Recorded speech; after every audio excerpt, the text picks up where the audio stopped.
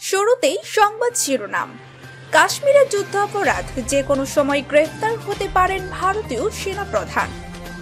ভারতে একদিনে করোনায় আক্রান্ত তিন লাখ। ধ্বংসের পথে ভারত। কাতারে তিন হাজারের বেশি নিরাপত্তার রক্ষী পাঠাচ্ছে তুরস্ক। সম্পর্ক স্থাপনের মার্কিন প্রস্তাব প্রত্যাখ্যান করল লেবাননের হিজবুল্লাহ। যা করেছি তার জন্য ক্ষমা প্রার্থী নই। আফগানিস্তান প্রসঙ্গে বাইডেন আমিরাতকে গোয়েন্দা তথ্য ও নিরাপত্তা দিতে চায় ইসরায়েল। রাতের আধারে ফিলিস্তিনিদের সেই ঘরটি ভেঙে ফেলল ইসরায়েল। এবার বিস্তারিত। ব্রিটেন ভিত্তিক এক ল ফার্ম কাশ্মীরের যুদ্ধাপরাধের দায়ে ভারতীয় সেনাবাহিনীর প্রধান জেনারেল মনোজ মুকুন্দ নারাফানি ও স্বরাষ্ট্রমন্ত্রী অমিত শাহকে গ্রেফতারের জন্য ব্রিটিশ পুলিশের কাছে আবেদন করেছে। মঙ্গলবার স্টোক হোয়াইট নামের a law firm London metropolitan পুলিশের যুদ্ধাপরাধ বিষয়ক ইউনিটের কাছে এই আবেদন করে। ল ফার্মটি জানায়, আবেদনের সাথে তারা জেনারেল নারাফানি ও অমিত শাহের নেতৃত্বে ভারতীয় সামরিক বাহিনীর হাতে কাশ্মীরে অধিকার কর্মী, সাংবাদিক ও বেসামরিক নাগরিকদের নির্যাতিত, অপহৃত ও হত্যার শিকার হওয়ার বিপুল প্রমাণ জমা দিয়েছে। কাশ্মীরের পরিস্থিতি নিয়ে স্টক হোয়াইটের প্রতিবেদনে প্রায় দুই হাজার সাক্ষীর বক্তব্য যোগ করা হয়। দু হাজার বিশ থেকে দু হাজার একুশ সালের মধ্যে এই সাক্ষীদের বক্তব্য নেওয়া হয়। এতে কাশ্মীরের সরাসরি যুদ্ধ অপরাধ ও নিপীড়নের দায়ে অনুলিখিত শীর্ষস্থানীয় আরও আট ভারতীয় সামরিক কর্মকর্তাকে অভিযুক্ত করা হয়। প্রতিবেদনে বলা হয়, জম্মু ও কাশ্মীরে বেসামরিক নাগরিকদের বিরুদ্ধে ভারতীয় কর্তৃপক্ষের যুদ্ধাপরাধ ও অন্য সহিংসতার অভিযোগ বিশ্বাস করা শক্তিশালীর কারণ রয়েছে। স্টক হোয়াইট জানায়, লন্ডন পুলিশের কাছে তাদের এই আবেদন। বৈশ্বিক আইনি অধিকারের নীতিমালা অনুসারে করা হয়েছে, যার মাধ্যমে বিশ্বের যে কোনো জায়গায় মানবতার বিরুদ্ধে সংগঠিত অপরাধের বিরুদ্ধে অভিযুক্তকে জবাবদিহিতার আওতায় আনা যায়। কাশ্মীরের যুদ্ধাপরাধের দায়ে বিদেশে ভারতীয় কর্তৃপক্ষের বিরুদ্ধে এটি প্রথম আইনি পদক্ষেপ বলে দাবি করছে ল ফার্মটি। স্টক হোয়াইটের পরিচালক হাকান জামুজ জানান, তিনি আশা করেন তাদের প্রতিবেদন ব্রিটিশ পুলিশকে অভিযুক্ত ব্যক্তিদের বিরুদ্ধে তদন্ত শুরু ও তাদের গ্রেফতারির জন্য আশ্বস্ত করবে। তিনি বলেন, আমরা ব্রিটিশ সরকারের প্রতি তাদের দায়িত্ব পালনের আহ্বান এবং আমাদের সরবরাহ করা প্রমাণ অনুসারে কৃতকর্মের জন্য তাদের বিরুদ্ধে তদন্ত শুরু ও গ্রেফতার করা হবে। আমরা তাদের জবাবদিহিতার অধীনে নিতে চাই।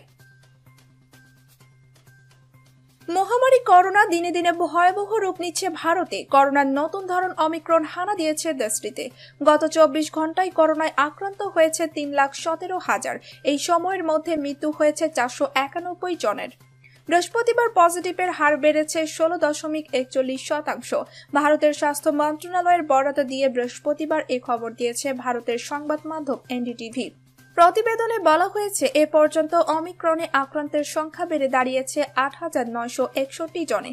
পরিসংখ্যান অনুযায়ী ভারতে করোনায় মোট আক্রান্তের সংখ্যা বেড়ে দাঁড়াল তিন কোটি বিরাশি লাখ আঠারো হাজার সাতশো তিয়াত্তর জনে। এ পর্যন্ত মৃত্যু হয়েছে চার লাখ সাতাশি হাজার সাতশো উনিশ জনের। দু হাজার বাইশ সালের ফুটবল বিশ্বকাপে বন্ধু প্রতিন কাতারকে নিরাপত্তা সহায়তা দেবে তুরস্ক। এজন্য কাতারে তিন হাজার দুশো পঞ্চাশ জন নিরাপত্তা কর্মী পাঠাবে দেশটি।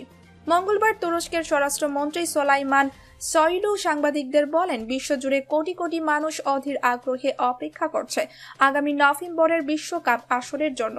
এই আসর যেন সুষ্ঠুভাবে সম্পূর্ণ হয়, নিরাপত্তা ব্যবস্থায় যেন ত্রুটি না থাকে, তা নিশ্চিতে কাতারে মোট তিন হাজার দুইশো পঞ্চাশ জন নিরাপত্তা কর্মী পাঠানো হবে।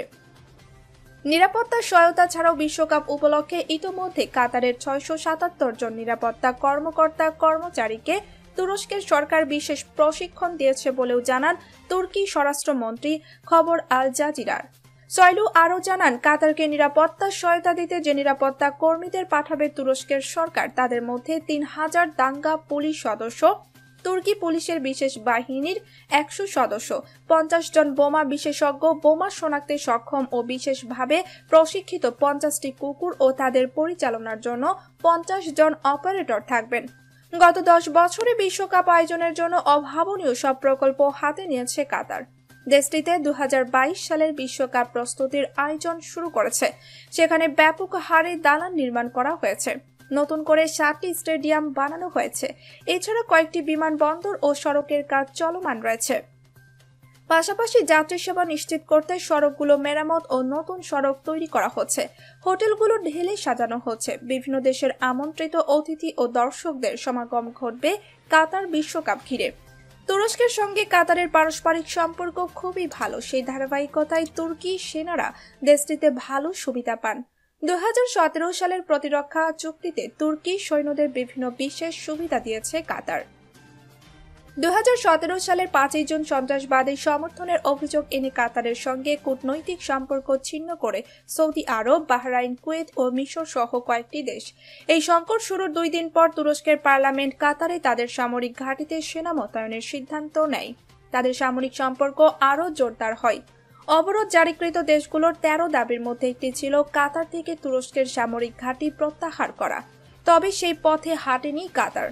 দুই হাজার পনেরো সালের আঠারোই জুন তারিখে ইবন জিয়াদ সামরিক ঘাঁটিতে প্রথমবারের মতো অবস্থান নেয় তুর্কি সেনারা। এতে করে কাতারের সামরিক শক্তি বৃদ্ধি পায়। মার্কিন সরকার লেবাননের ইসলামী প্রতিরোধ আন্দোলন হিজবুল্লার সঙ্গে সম্পর্ক স্থাপনের যে প্রস্তাব দিয়েছিল তা কঠোর ভাষায় প্রত্যাখ্যান করেছে এই প্রতিরোধ সংগঠন।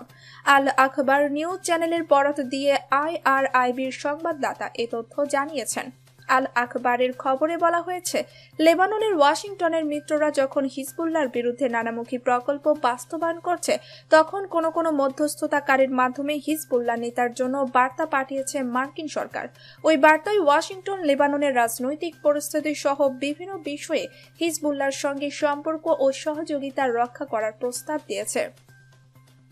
হিজবুল্লার পক্ষ থেকে এসব মধ্যস্থতাকারীর মাধ্যমে জানিয়ে দেওয়া হয়েছে, তাদের পক্ষে কোনো অবস্থাতেই আমেরিকার সঙ্গে সম্পর্ক স্থাপন করা সম্ভব নয়।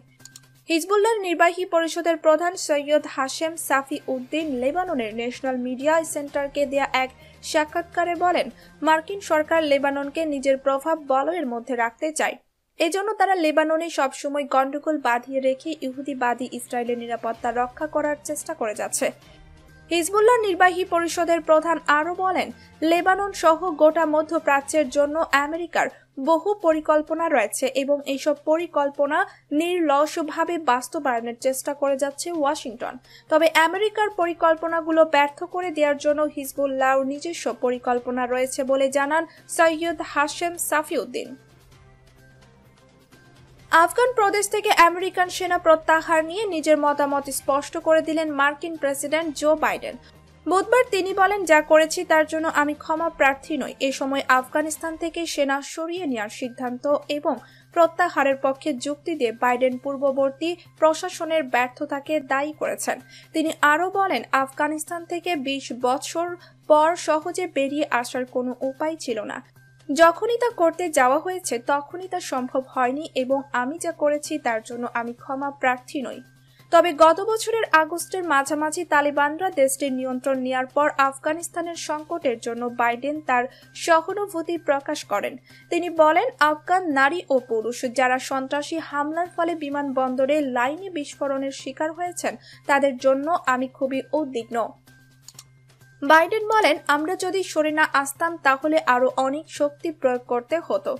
আফগানিস্তানের দিকে অনেক বেশি নজর দেওয়া হতো। তালিবানদের অযোগ্যতার পরিণতি হিসাবে যা ঘটছে, তা কি আমার খারাপ লাগছে না?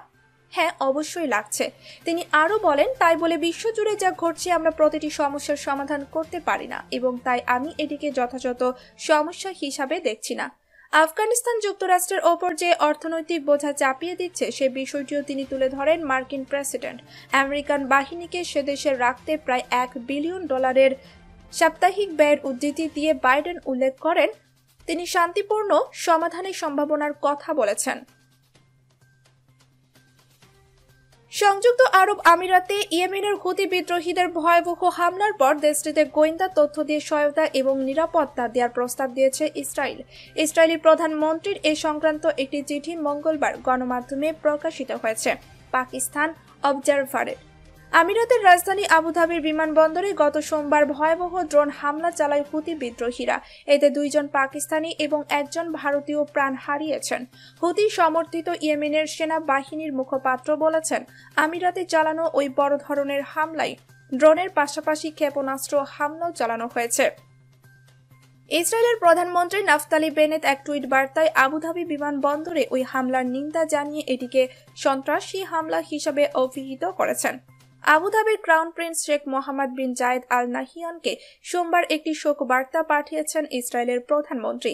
এতে ইসরায়েল বলেছে, আমরা আমিরাতের পাশে আছি। এ ধরনের হামলা থেকে আমিরাতের জনগণকে বাঁচাতে প্রয়োজনে আমরা গোয়েন্দা তথ্য এবং নিরাপত্তা দিয়ে সহায়তা করব।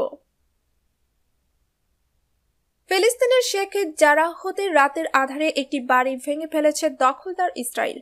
মাহমুদ সালহিয়া নামে এক ব্যক্তি তার পরিবারের বারো সদস্যদের নিয়ে বাড়িটিতে থাকতেন। তিনি তার বসত ঘর ভেঙে ইহুদি শিশুদের জন্য স্কুল বানানোর পরিকল্পনা করছে ইসরায়েল মাহমুদ সালহিয়ার পরিবারকে উচ্ছেদ করতে সোমবার সব প্রস্তুতি নিয়ে আসে দখলদার ইসরায়েল কিন্তু মাহমুদ সালহিয়া একটি ভিডিও বার্তায় জানিয়েছিলেন, তাদেরকে বাড়ি থেকে উচ্ছেদ করা হলে পুরো বাড়িটি জ্বালিয়ে দেবেন। তিনি আরও জানিয়েছেন, বাড়ি জ্বালিয়ে দেওয়ার সঙ্গে নিজেদেরও জ্বালিয়ে দেবেন। প্রাণ নিয়ে বের হওয়ার বদলে তারা সবাই ছাই হয়ে বাড়ি থেকে বের হবেন। তাদের প্রতিবাদের মুখে ওই দিন ইসরায়েলি বাহিনী সরে যায়, কিন্তু এরপর মঙ্গলবার রাত তিনটার দিকে ভারী অস্ত্র ও বিপুল পরিমাণ নিরাপত্তা বাহিনীর সদস্যরা এসে রাতের আধারে ভেঙে ফেলেছে তাদের ঘর। গণমাধ্যম আল জাজিরাকে জানিয়েছে, মাহমুদ পরিবারের সদস্যদের নিয়ে ঘুমিয়েছিলেন। রাত তিনটায় ইসরায়েলি বাহিনী এসে তাদের জাগিয়ে তুলে ঘর ভেঙে ফেলে। আল জাজিরা আরও জানিয়েছে, প্রায় দুইশো সদস্য এসে বাড়িটিতে হামলা করে। ঘরে থাকা পুরুষদের মারধর করে গ্রেফতার করে নিয়ে যায়। তীব্র শীতের মধ্যে তাদের শীতের কাপড়ও পরতে দেওয়া হয়নি। তাছাড়া বাইরে প্রতিবাদ করা আরও আঠারো জন প্রতিবেশীকেও গ্রেফতার করা হয়। মাহমুদ তার বাড়িটিকে রক্ষা করতে সব চেষ্টাই করেছিলেন, কিন্তু শেষ পর্যন্ত পারলেন না। এখন পরিবারের সদস্যদের নিয়ে ঘরহীন হয়ে পড়েছেন তিনি। প্রিয় দর্শক ভিডিওটি ভালো লাগলে লাইক, কমেন্ট এবং শেয়ার করতে ভুলবেন না। প্রতিদিন আপডেট খবর পেতে আমাদের সাথেই থাকুন। ধন্যবাদ।